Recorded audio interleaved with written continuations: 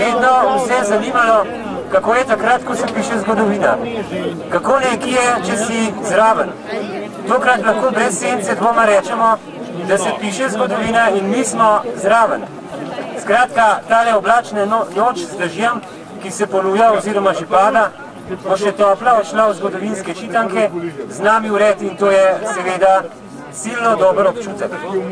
V tem tako pomembnem trenutku bi si človek želel na nebu izbrati svojo srečno zvezdo, ampak je oblačne in zvezde so se tokrat izneverile. Lahko pa seveda upamo, da nam bodo dobro služile tiste zvezde na evropski zastavi, ki je sedaj tudi naša. Noč je seveda ugoden prostor, tam se kotijo sanje, stvari izgubijo svojo obliko in težo in sence radostno plešejo.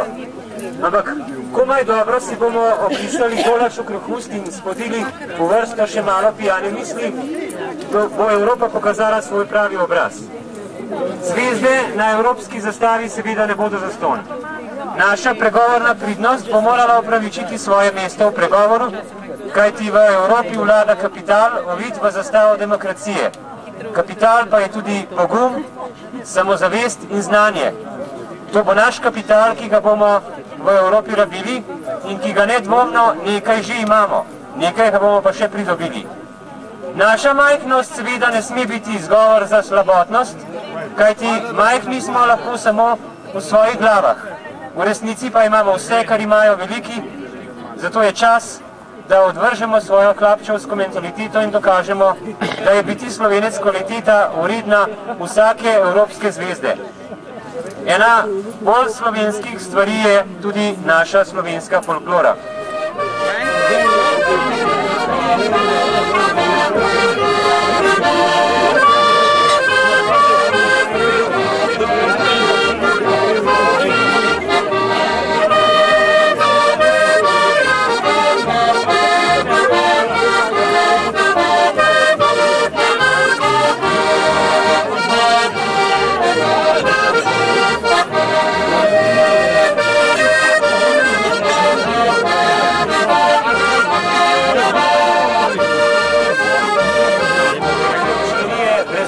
Dobrega oštirja.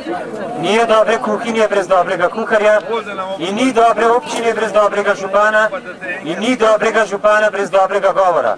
V čast mi je, da vam lahko predstavim novega evropskega župana, nove evropske občine, da o govoru sploh ne govorimo. Tomaš Drolc. Darko, hvala lepa. In ni dobre občine brez dobrih kulturnikov in se mi zdi, da Darko naš še posebno vedno, kadar se pojavi, zasluša aplaus. In tako upam, da ga je tudi danes. Je? Je. No, ne dali aplaus, čeprav je bil težko, težko z vas vabljen. Velja tudi za kriške gasilce, ki so se ponovno potrudili. Dajmo še enkrat! No, tako tudi za kriške gasilce. No, ne smemo zdaj, ko ploskamo, pozabiti na Jožeta, ki nam je pripravil golaš. Tiskega ni dobil, je sam kriv. E, mal popravnega izpita imate, zmanjkar ga še ni. Zato veselo na delo, mal aplauza, pa še do ni jedu golaža k Jožu, tem na konc šankov. No, gledajte, predno, predno bi vam povedal tisti eh, pameten pa dober govor. Eh, mi dovolite, da vas najprej lepo pozdravim. Pozdravljam vse naše občanke, vse naše občane. Zdaj, a ste že evropejci ali niste, jaz ne vem. Eni so že dvigali, eni so spušali zastave eh, z zvezdami, pa recimo, da smo zdaj že vsi nekako z eno nogo v Evropi. Samo, če vam čisto pravic povem, jaz mislim, da sem bil že včeraj tudi, pa prejšnji mesec tudi, pa lanski let tudi. Evropa je praktično počasi prišla med nas, oziroma k nam, tako da jo dobesedno skoraj opazili nismo. E, tudi naša občina, moram z veseljem ugotoviti, je bila tega vstopa Evrope k nam kar deležna in to v taki meri, da bomo še kar nekaj časa čutili, seveda v tem, mislim, v pozitivnem smislu. E, čestitke za prvi maj praznik dela, se samo tako bomo prišli lahko skozi to Evropo in verjemite, Evropa, saj jaz sem prepričan, nam ne bo nič dala.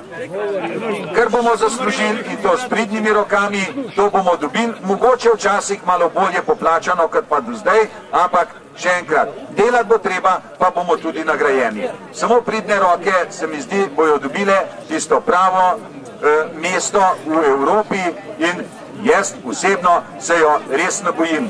Evrope namreč, eh, kot verjamem, da tudi mnogo, mnogo naših občanov. Drugič, ker vam čestitev za to, ker stopamo v Evropo, pa se mi zdi, da ne vem kakšne euforije prav pri tem stopu ni zadelati, saj nam ne počakajmo, kaj bo. Absolutno smo prepričani in tudi s tem optimizmom moramo stopiti v Evropo, da nam bo bolje, seveda, kot smo že velikrat slišali, za ston gotovo ne.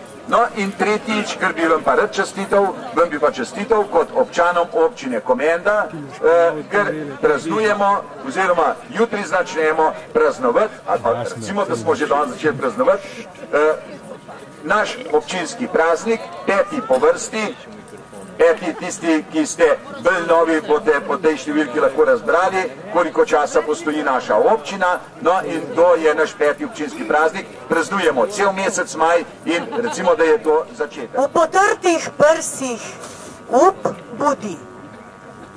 Komu najpred veselo zdravlico, bratje, čmo zapet?